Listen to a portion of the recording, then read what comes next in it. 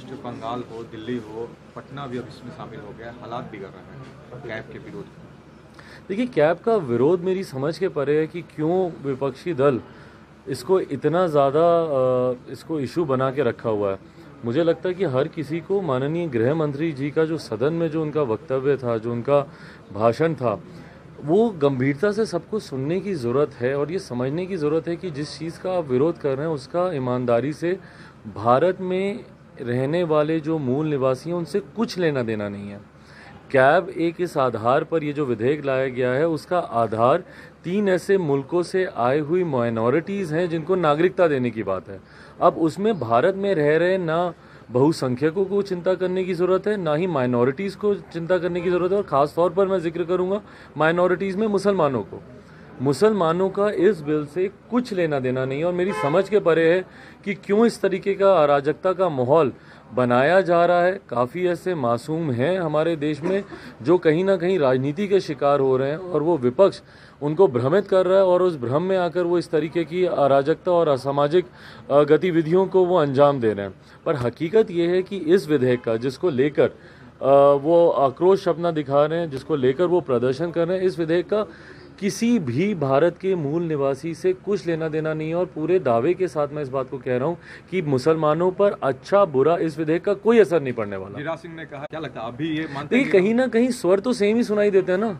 जो पाकिस्तान के नेता जिस तरीके की बातें करते हैं अभी हाल फ़िलहाल के दिनों में जिस दिन ये विधेयक पास हुआ जिस तरीके से पाकिस्तान के प्रधानमंत्री का वक्तव्य आया वो शब्द आप, शब्दावली आप देख लीजिए, और भारत के जो नेता हैं, भले वो कांग्रेस के नेता हों या और विपक्षी दल के नेता हों, उनकी शब्दावली देख लीजिए, एक ही शब्दावली है।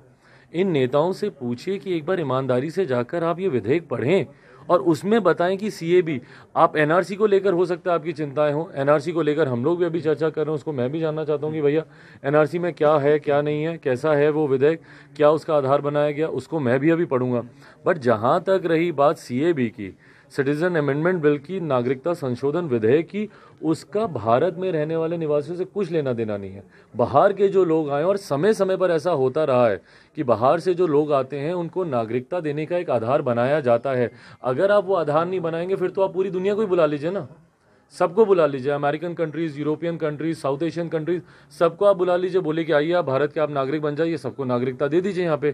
पर कभी ना कभी आप रीजनेबल आप आधार तो बनाएँगे किसी को नागरिकता देने का और वो आधार इस बार ये बनाया गया कि तीन ऐसे देश और उसमें अल्पसंख्यक इसलिए रखा गया क्योंकि वहाँ का जो बहुसंख्यक है वो ऑलरेडी मुसलमान है वहाँ के उन देशों के। आप पाकिस्तान ले लीजिए आप अफ़गानिस्तान ले लीजिए बांग्लादेश ले लीजिए तीनों में जो मुसलमान हैं वो वहाँ के बहुसंख्यक हैं।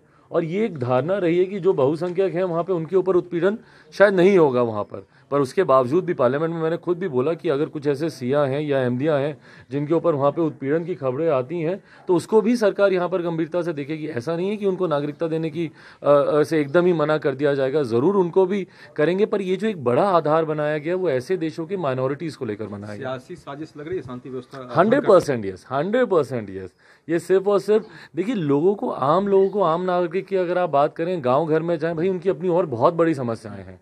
जिन कॉलेजेस में इस तरीके की घटनाएँ चल रही हैं, ईमानदारी से उनके घर परिवार वाले लोगों से आप देखेंगे तो उनकी चिंता है कि भैया किसी तरीके से मेरा लड़का, मेरा लड़की पढ़ ले, अच्छी शिक्षा हासिल कर ले, कल को नौकरी पर लग जाए। पर जिस तरीके से कॉलेजेस में भी कहीं ना कहीं ये राजनीति शुरू कर दी गई है, बेचारे मासूम बच्चे हैं, लड़के हैं, उनको ये खौफ दिखाया जा रहा है कि भैया तुम्हारा भविष्य समाप्त कर दिया जाएगा, तुम्हें तो देश से ही निकाल दिया जाएगा, तुम्हारी तो नागरिकता ही खत्म कर दी जाएगी, जबकि इन सब चीज़ों से उन मासूम बच्चों का कुछ लेना देना नहीं है। बट जिस तरीके से कॉलेजेस में आगजनी हो रही है ये अपने में दर्शाता है कि जो पॉलिटिकली मोटिवेटेड चीज़ें चल रही हैं विपक्ष जिस तरीके से साजिश रच रहा है बच्चों को गुमराह कर रहा है आम नागरिकों को गुमराह कर रहा है नहीं तो आप गाँव खलियानों में जाइए किसी को कुछ लेना देना नहीं है कि भैया किसी दूसरे देश के नागरिक को आप नागरिकता दे रहे हो कि नहीं दे रहे हो उनकी अपनी चिंता है कि भैया हमारे घर में खुशहाली कैसे आए नौकरी कैसे आए इंफ्रास्ट्रक्चर कैसे बने। पर यही है कि विपक्षी दल इस बात का की साजिश कर रहे हैं। क्यों कर रहे हैं? पूछिए ना। राजद वालों से भाई पूछिए। अब अब दिक्कत ये है कि अब वो मेरे छोटे भाई हैं, थोड़ी सी पढ़ाई लिखाई का अभाव है उनमें, पर मैं चाहूँगा कि पढ़ें। इस विधेयक को वो पढ़ें और गंभीरता से पढ़ें। और ये ईमानदारी की बात है। देखिए, ये फ़र्क आता है। जब आप, पढ़ाई लिखाई जब आप कम करते हैं तो ये दिक्कत आती है। आप ले लीजिए ना, आप उसकी कॉपी मंगवा लीजिए, पूरे उसको आप पढ़िए। और पढ़ने के बाद आप मुझे समझाइए कि भैया, इसमें भारत के मुसलमानों पर किस तरीके से अत्याचार हो सकता है, इस विधायक के तहत। आपकी और चिंताएँ तो मुझे बताइए। पर अगर आप नागरिकता संशोधन विधेयक की बात कर रहे हैं और उसको लेकर आप जनता को आप भ्रमित कर रहे हैं बार बार आप आक्रोश मार्च कभी करते हैं, कभी आप बिहार बंद की का आप आह्वान करते हैं, क्यों कर रहे हैं? कारण क्या है? भाई, दूसरे मुल्कों से आने वाले लोगों को नागरिकता देने के लिए दिया गया, उसमें बिहार में रहने वाले लोगों का क्या लेना देना? कौन से ऐसे लोग हैं जो कि यहाँ बिहार में हों और जिनकी नागरिकता हम लोग छीन रहे हैं या नागरिकता के ऊपर प्रश्न चिन्ह उठा रहे हैं केंद्र सरकार? तो उस बिल को आप पढ़िए, उस बिल का भारत के मूल निवासी से कुछ लेना देना नहीं।